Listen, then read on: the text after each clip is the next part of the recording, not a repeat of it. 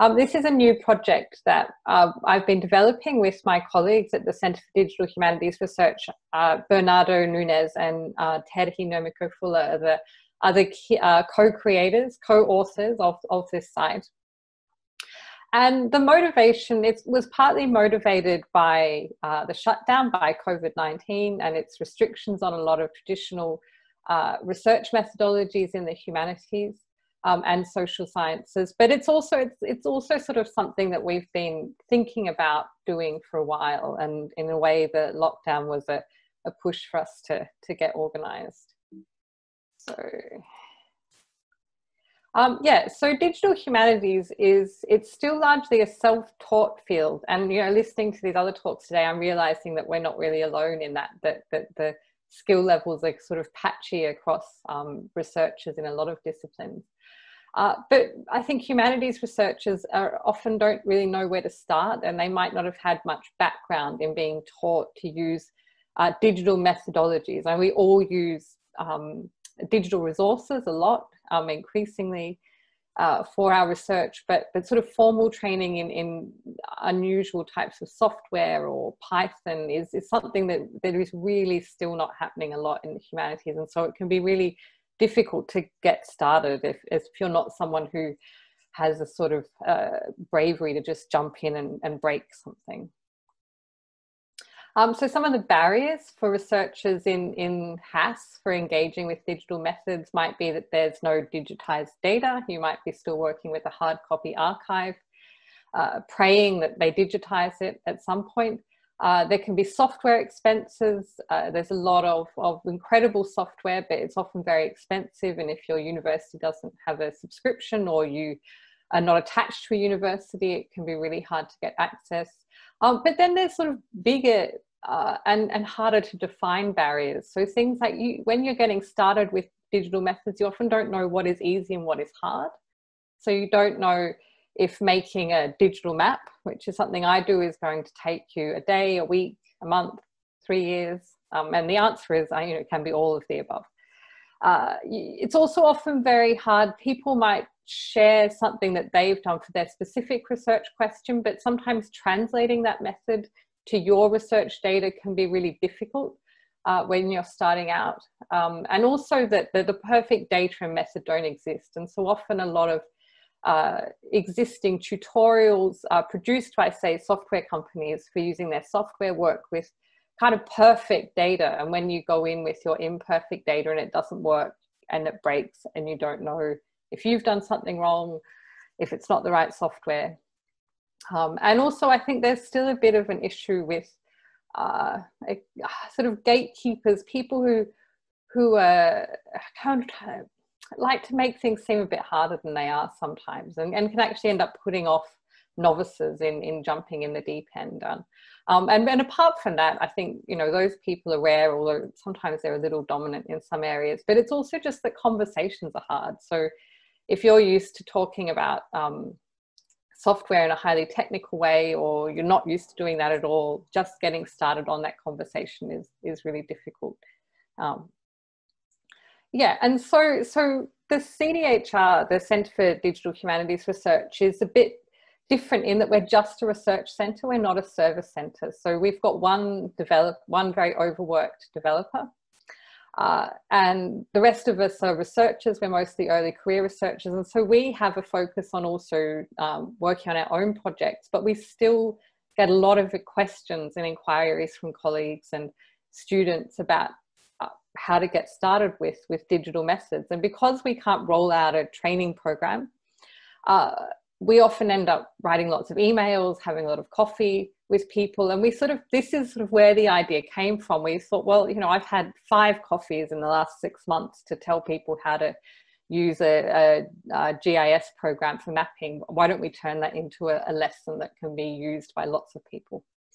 Uh, and so trying to and, and, trying to pitch these lessons at, at a lot of different levels. And so people who are novices people who might have some expertise in one area but they're thinking of sort of shifting it into another area uh, and trying to really start at that level of, of where we often start with students um, or colleagues, where it's not um, it's not a kind of intermediate level question, which is often where a lot of the online tutorials seem to start. They assume you've got a data set. They assume you know how to open the terminal on your Mac and type, um, you know, type a command in.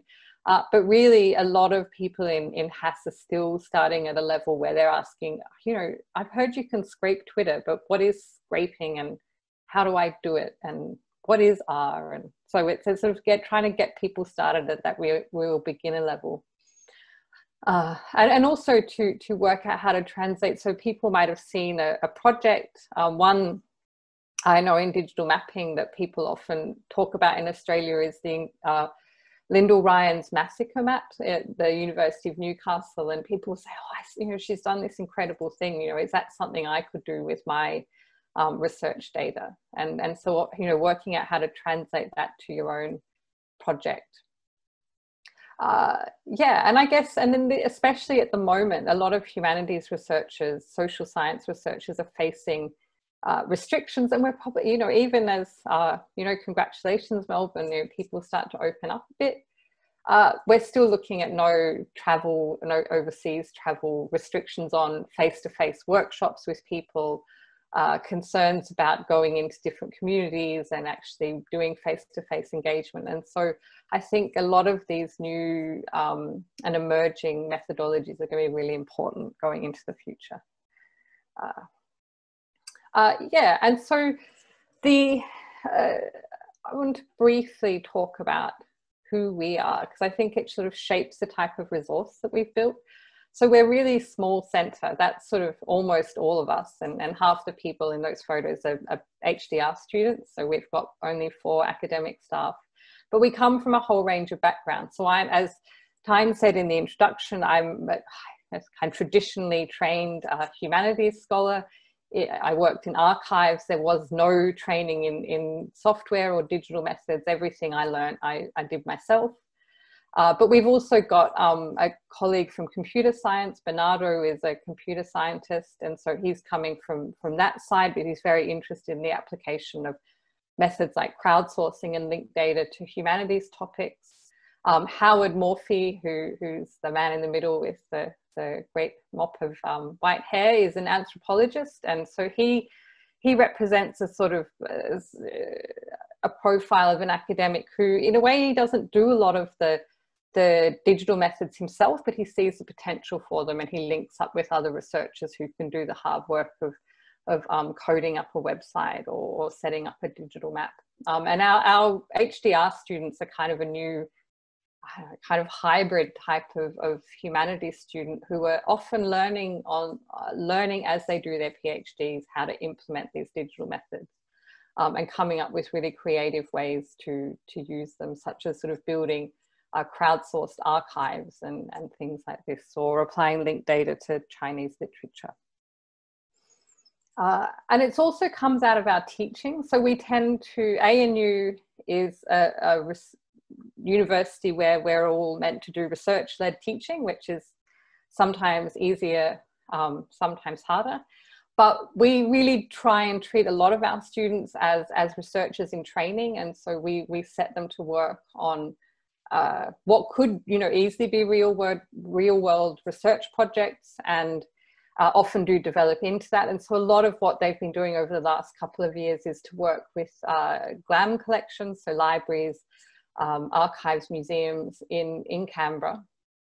Uh, and these students are really diverse. So some of them are computer science students, some of them are um, fine arts students, some of them are uh, from languages, uh, and, and so some of them have a lot of experience using digital methodologies, and some of them have absolutely none at all. And so there's no shared base level um, for skills and knowledge, and so we wanted to also create a resource that these students could use. So if we have a student who uh, says, you know, I, would like to build, um, you know, a website as part of my uh, project this semester, but I've never done anything more sophisticated than browse the web, there's somewhere for them to start. But equally, if we get a student who already has a background in computer science and is used to um, working in, in a way that is a bit more advanced that we can also sort of point them in the direction of a sort of different set of skills to, to um, acquire over the semester.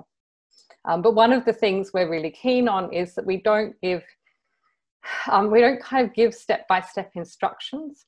Uh, and this is partly because there's no one sort of one size fits all. We'd be developing them for every single uh, student, uh, but also because we're trying to encourage the students to understand the process of learning new software. And so it's not a matter of just learning this piece of software, which you can then keep using for the next 20 years. It's that you need to learn a soft piece of software or a method for a specific project. And that's the reality of research or industry work um, a lot of the time. And so uh, and so our, our website, and I'll, I'll, give you a preview in a second of some of the, the types of things we've been publishing on it, is very much based on giving people kind of introductions and overviews uh, to things rather than a sort of step by step, you know, uh, use this command, use this command, use this command. Because there's a lot of other, I think, really great resources that already do a lot of that um, online.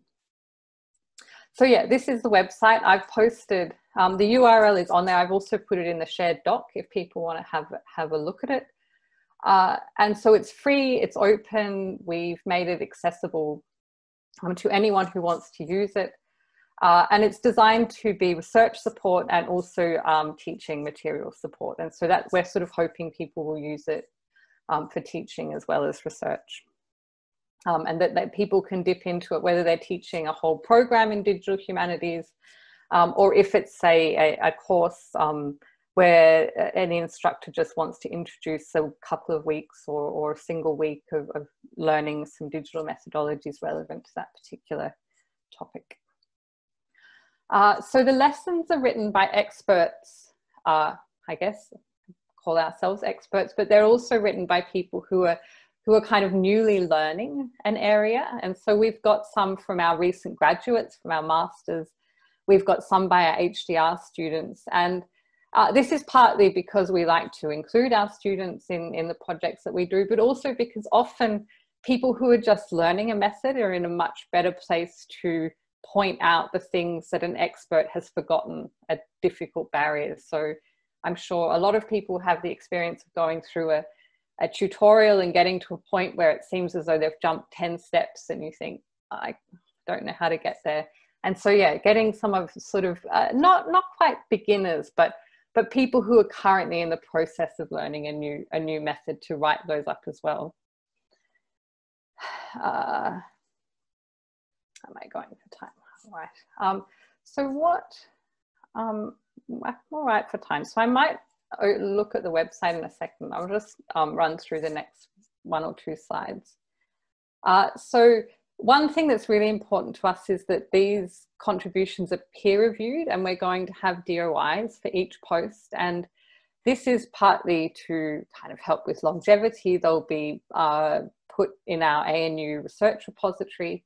Uh, uh, but it's also in a sort of to have a kind of critical evaluation so that we, you know, all of these overviews will have a little bit of personal bias, I guess, you know, in terms of the way that we use them for our own research. We want them to be relevant to the broader community, but we also want this kind of expertise in methods and software skills to be recognized as research expertise. And so not just uh, kind of help that you take away and, and you use and you apply to your own work, but something that you acknowledge that someone else has spent, you know, time and effort developing this kind of methodology, expertise in this methodology.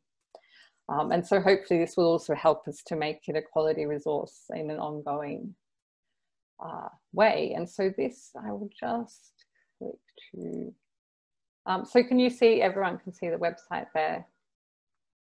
Um, and so I just wanted to flick through really quickly. This is my lesson on digital mapping to give you a sense of these types of overviews that we're publishing. And so we've got a video which uh, briefly describes the method uh, for people who, who like sort of video introductions, which is what a lot of our students are asking for a lot of the time. And then we've kind of got kind of questions like, why would you use this? You know, who is this useful for? Because there's nothing worse than sort of putting hours and hours of time into a method and realizing it's got no relevance to your particular research question or your data set. Uh, we've got some jargon busting and so you know these things that can trip people up as they get stuck into a new area where they're not too sure what people are, are talking about uh, prerequisites. So what do you need? It's like you, you know, don't go and buy a expensive piece of software and realize that you don't have the right data set. Uh, and then some ways to sort of get started. So like, what are the things that you should try first just to see if this works with your particular research material? And so the idea is to, to give people a, a place to get started, to see if this method is worth investing more time in, to see if a method is worth investing in um, buying software. Uh, our approach, some, some we, we're quite inspired by the Programming Historian, which is a publication um, which offers really detailed lessons for, for historians and, and other um, people in, in the humanities and social sciences to use different digital methods. Uh, and they've got a sort of open open source software only policy and we're not following that in quite the same way because we think there's some areas where the the licensed software will save you time and effort but you want to make an informed decision about whether it's um, worth buying it um, and then we've got some examples of pro projects to look at and a sort of you know very short starting point in terms of references as well as software and resources and, and and they're very varied and so as an example with the mapping one i've got a mixture of, of something like QGIS, which is a, a full suite software. It's, it's a very advanced pro program, but also saying to people, you know, if you just want to get started by dropping some pins on a Google map, that is also a way to get started on digital methods. So you don't need to feel as though you have to jump in the deep end with the most sophisticated piece of software or the hardest method it's a lot of researchers use, you know, off the shelf tools and, and simple tools to get started. And that that's a, a really good place to start. And so, yeah, I'll wrap up there and yeah, happy to answer any questions. Fabulous. Thanks so much, Katrina. It's also